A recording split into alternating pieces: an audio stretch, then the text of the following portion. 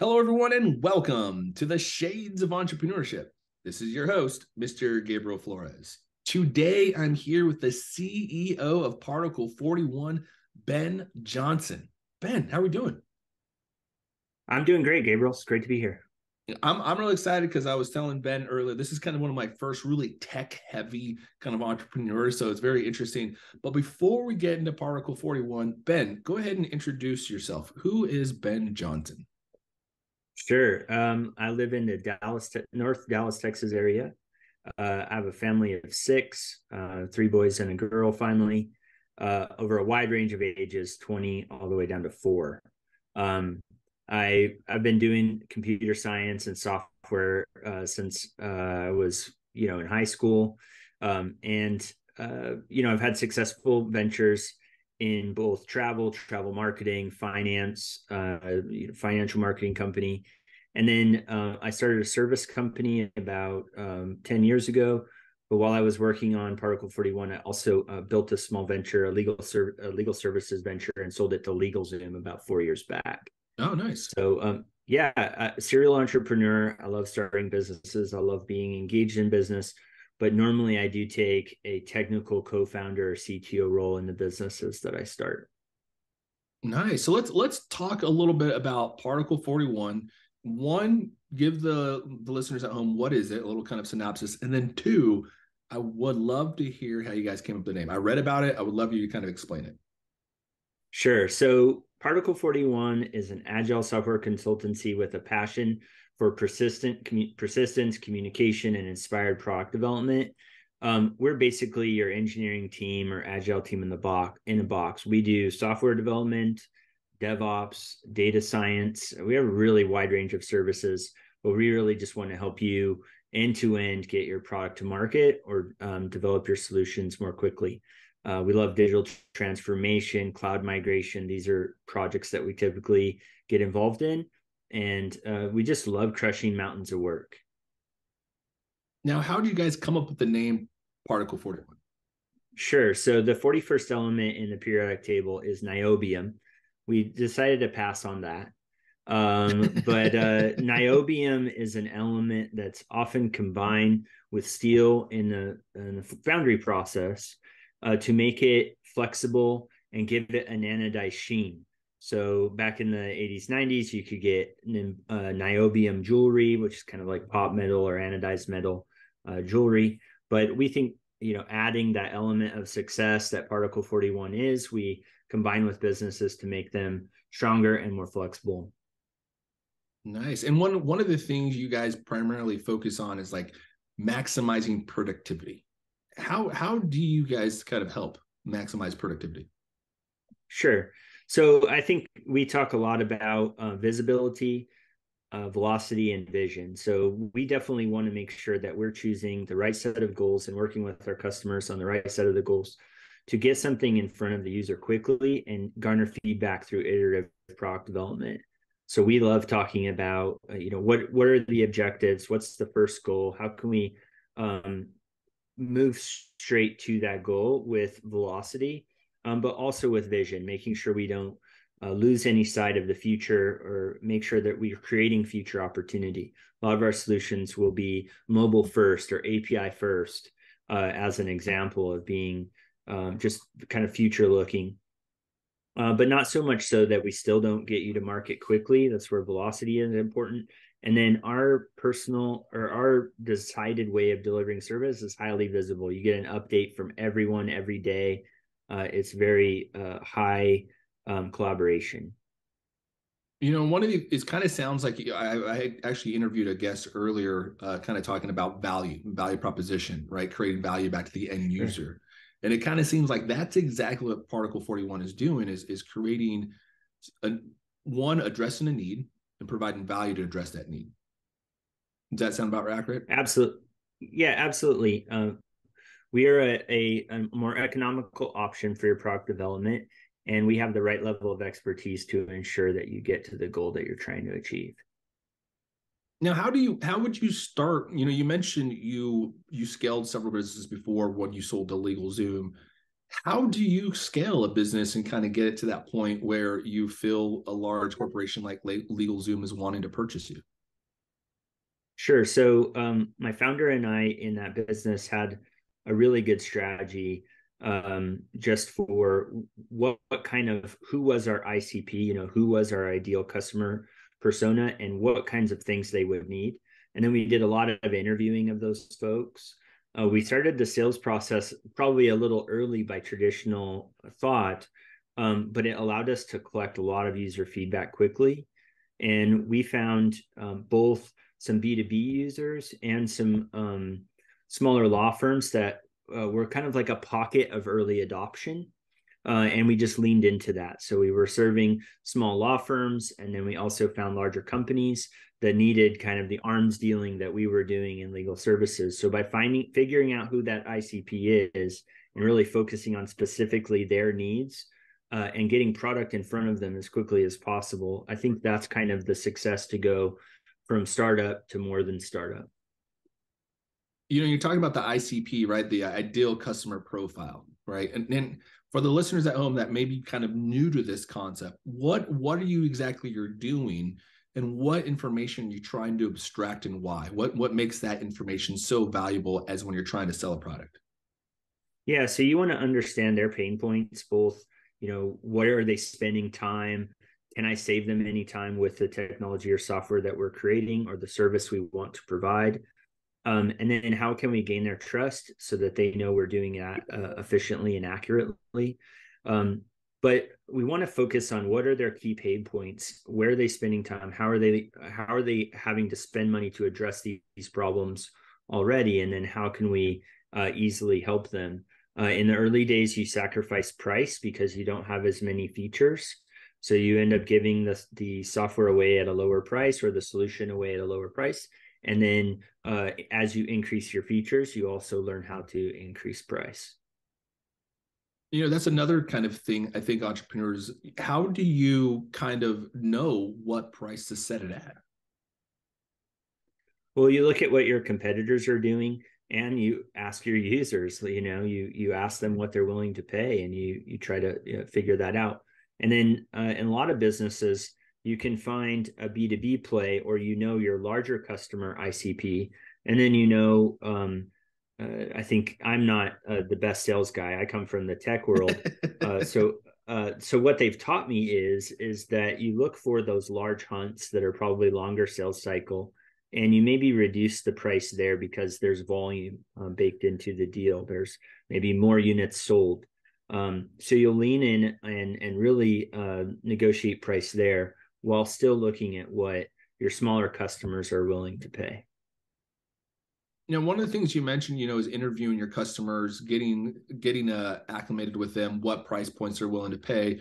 What tactics did you guys use particularly particle 41 what tactics do you use when you're or maybe your LegalZoom one what tactics do you use to interview your your customers to get this feedback so um, i mean hopefully if you're putting product in front of them and they're using it they're giving you a lot of feedback on what they're using on a daily basis so um, you're listening to them and you're adding those things into your uh, your iterations, your product roadmap, and trying to really show them that you're listening to them by turning around features that they've recommended. Um, and this is really great for your early adopters because then they feel like they're a part of the process. They feel involved. Um, and so you're kind of saying, "Hey, stick it with me. Um, we're we're continue to add the features that you're requesting so you have also kind of an exclusive um, access to your service or or or a product, and and because of that, you um, you, you just you just ask the ones that you know will will work with you and give you the answer. Sure, we've done surveys. Um, you know, there are survey systems and survey solutions, and we've leveraged those from time to time. Um, but nothing just beats like a straight conversation. And then teaching your frontline people how to ask those right questions uh, to collect the information. Can you give us some examples of some of those questions you might ask to get some information out of customers? Um, can you explain to me what you do today in your current business? You know, so by explaining to them what they're currently doing, you get a little insight. You go, ah, okay, well, man, I really want to help you stop doing that because that sounds like a lot of work. um, or you just you get an idea of of exactly what they're wanting to um, prevent themselves from having to do now in your experience you know you've you've mentioned you've kind of scaled and, and you've been in uh, kind of a serial entrepreneur in your experience what would you say has been the most difficult part of being an entrepreneur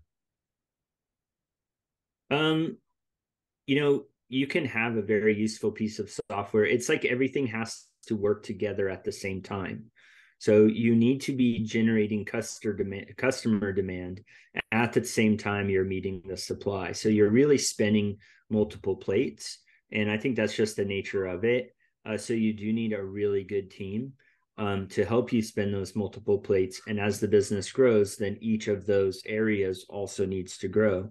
You could have a really great engineering team, uh, and they're doing an awesome job building features but you need then a great sales and support team to bring that customer experience.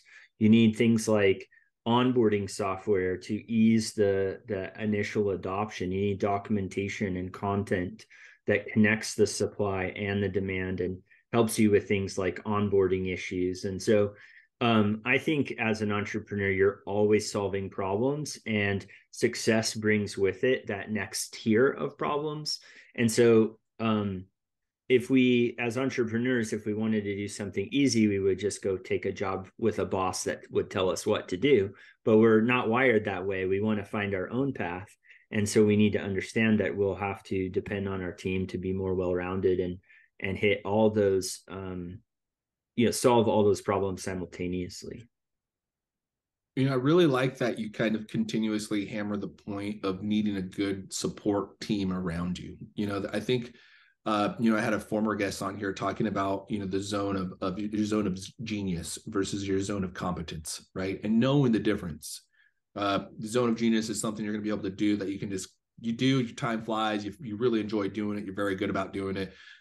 That's your zone of genius. And then your zone of competence is something, hey, you you can do it, you're you're good at it, but you're not the best at it. And I think that's where you're kind of mentioning, you know, bringing in you know as experienced team members to kind of help fill that void because i think another big thing where entrepreneurs tend to trip themselves over on is trying to be the best of everything and not realizing hey if i just focus on what i'm good at and then outsource the things i'm not so good at how quickly some success will come yeah and when i say build a team there's some very uh you know by using boutique service companies, uh, boutique service companies similar to Particle 41 in areas of sales and marketing, an entrepreneur can actually assemble an amazing team rather than try to, uh, rather than maybe try to do a bunch of partnering. Uh, you know, the I'm sure we've all done a business.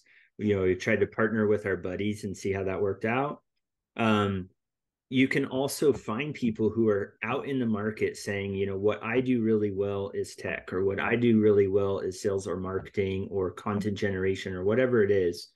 If you find those buddies, you can actually, they can still be running their own uh, successful services company, but you can kind of get the best that they have to offer without fractioning your cap table into partnership or even um, uh, hiring that full time executive uh, at some growth and scale you need to uh, you know you need to have really dedicated full-time members on your team. But um, as you're scaling uh, looking at boutique services uh, is a great uh, way of of getting there. Um, we see this trajectory too with some of our startup customers where they bring us on at the beginning and then as times grow we figure out what kind of roles they need in house, and then what kind of roles we can expand to to um, keep costs down, but keep the focus really on building the product. That, that, that's a great point too. You know, for entrepreneurs to understand is you don't have to hire everyone to be on your staff, right? You don't need to have the creative design team as your staff and the marketing team and the strategy team. You can get those outsourced and you work with them and they're uh, like you know Ben's saying they're going to be able to leverage some of their strengths. Now, Ben, one question I asked right was, what are some of the difficult things of being an entrepreneur? What what are some easy things? Are there is there anything easy? Well, I think it uh, once you um, I don't think so. I think easy is a fallacy of, of the mind. Uh, you know, one of the things we used to say, uh, you know, one of the things we say, there are no easy clients, which just means internally that even if we're dealing with a super nice client or super super um, you know things just seem to be going our way. We don't reduce our standards. We don't reduce our adherence to best practice. Uh, we continue to operate the client at a at a high level. Um, and so we we have the kind of there are no easy clients. And i think that's the same with business. There are no easy markets. Um, and uh, even in a booming market there are there are different challenges uh, than in a than a, a tight one um, but i think the tight one means that there are weak uh, competitors dying and um, you know the cycle shall uh, cycle through and repeat itself uh, so it's just time to be strong Yes, very true. And, you know, you kind of mentioned, you know, like being like resilience, right? Um, sure. It's kind of kind of resilience. Now, have there ever been a moment in your career as an entrepreneur of self doubt? Um, I think there has been times where you know you you look back and you kind of go, "I just made it," like by the skin of my teeth, right, just in time. Um, uh, not to say that we don't have losses, but uh, you know there have been some close calls, and uh, I think if I was really honest in certain uh, ventures, there's probably close calls going on right now. Um, but we just have to set goals, prioritize, and you know figure out uh, what is the next step, and and we just kind of continually work through that that mantra to figure out you know what's going on and what we can learn from it. Yeah. What is the next step for Particle 41? Where do you see yourself hopefully succeed in the next five or 10 years? Yeah, we want to deploy experts everywhere. So we've launched um, uh, we've launched a CTO advisory service to help uh, folks that just want to get an extra audit or an extra set of eyes on um, their problems and their situation, help them uh, expand efficiency.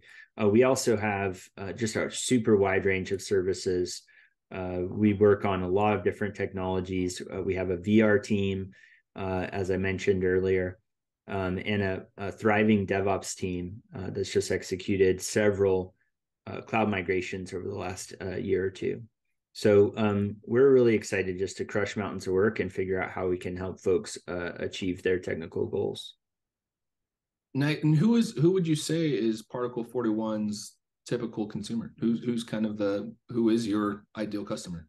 Yeah, so uh, I'm interested in having conversations with any CEO or CTO that has a three million to hundred million dollar co- um, company, and uh, especially uh, looking at uh, security vendors.